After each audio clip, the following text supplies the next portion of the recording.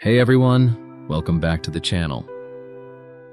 Today we're diving into a topic so cool, literally, that it might just freeze your brain.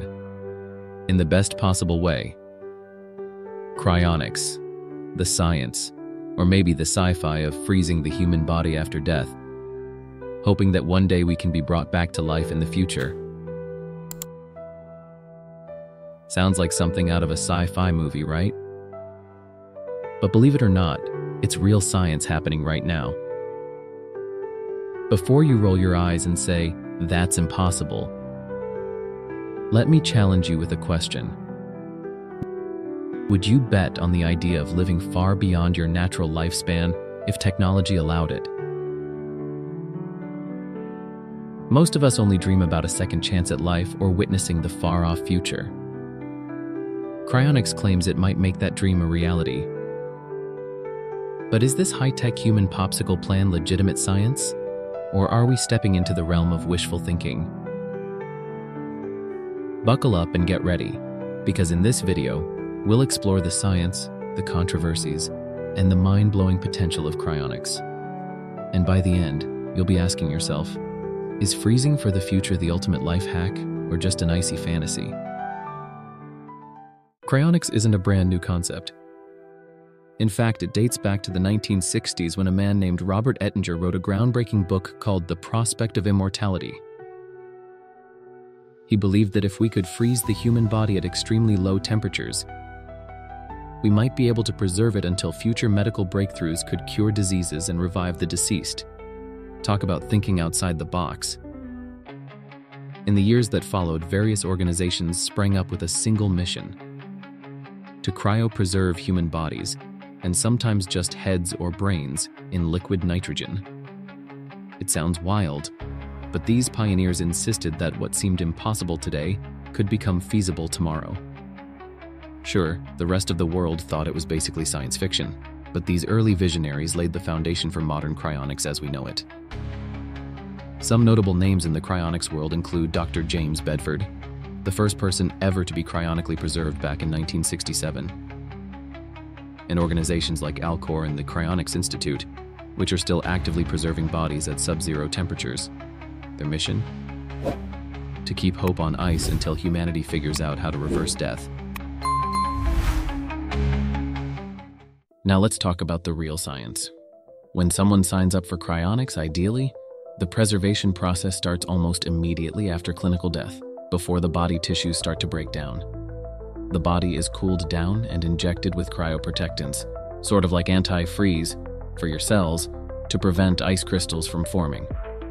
These ice crystals can destroy cells from the inside out, so the goal is to minimize that damage.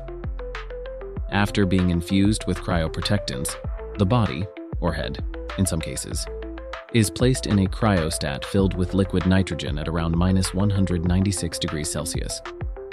At these ultra-low temperatures, metabolic processes almost completely stop. The theory is that in this frozen stasis, the body's tissues remain structurally intact until future scientists, fingers crossed, can repair any damage and bring you back. But here's the catch. Reviving a cryopreserved body is still purely hypothetical. We do have success in cryopreserving certain cells and even embryos, like in IVF treatments, but no whole human or mammal has ever been thawed and successfully revived. Yet. That's the key word in cryonics. Yet. Proponents argue that we never know how future technologies, like nanotechnology or advanced tissue regeneration, could change the game. Of course, cryonics isn't just about high-tech freezers and futuristic fantasies. It's also one of the most controversial subjects in modern science. Critics point out that there's zero guarantee we'll ever develop the tech to revive these frozen bodies, essentially calling it an expensive gamble. Let's be real, cryonics isn't cheap. Some people spend tens, or even hundreds, of thousands of dollars on these procedures, hoping for a shot at a second life. Then there are the ethical questions. If we ever do master resurrection, what does it mean for overpopulation? For our planet's already limited resources? And how do we decide who gets to come back and who doesn't? Plus, there's the philosophical angle. Does freezing your body actually preserve you? Your consciousness? Your memories? Your personality? Or would we just be raising a physical shell without the essence of who you are? Religious and cultural views also play a role. Some find the concept of cryonics deeply unsettling, believing it goes against the natural cycle of life and death. Others argue that the pursuit of life extension is a natural outcome of human curiosity and our drive to conquer mortality. Regardless of where you stand, it's clear cryonics sparks passionate debate about what it truly means to be alive. So does cryonics hold the key to our future? Are we on the brink of a medical revolution that will allow us to cheat death? Or are we simply clinging to false hope packed in ice? Truth is, nobody knows for sure. And that's exactly what makes cryonics so fascinating. It hovers on the thin line between science fact and science fiction, pushing our imagination to places we've never gone before. Imagine a future where advanced artificial intelligence and nanotechnology collaborate with cutting-edge genetic engineering. In that world, repairing cellular damage, maybe even reversing aging, could be possible.